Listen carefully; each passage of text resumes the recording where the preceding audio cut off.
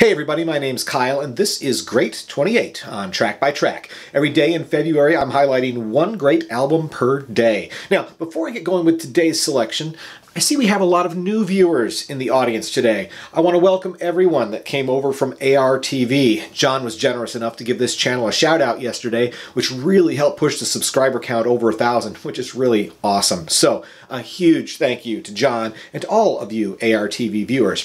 If you're not already an ARTV subscriber, I highly recommend that you go check that channel out. Jon has great music reviews, uh, countdown and ranking videos, and some really insightful commentary videos too. You can click the link that should be right up here, and I'll post one down in the description below. All right, let's get back to the Great 28. For all of you newcomers, we're in the final five days now, but if you want to catch up and learn more about this special series, be sure to check out my day one video from February 1st. Yesterday, we took a detour from the alphabetical pattern that we've been following most of the month to highlight a soundtrack album. Today, though, we're getting back to the letters as we enter the home stretch on this series.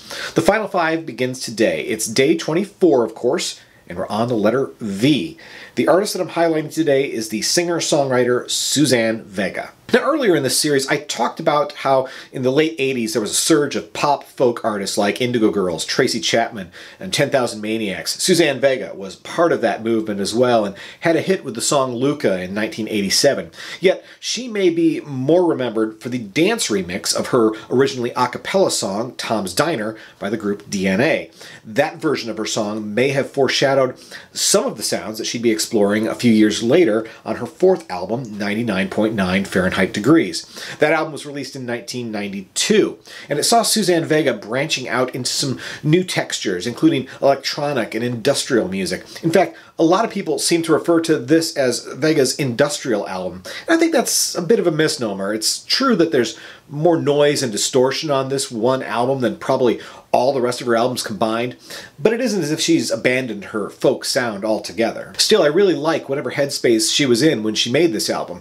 Yes, there's definitely a quote-unquote industrial edge on some of these songs, in particular the title track, as well as Blood Makes Noise, both of which performed well on the college radio charts. But it's that little extra flavor on so many of the other less aggressive tracks that I think makes them so compelling.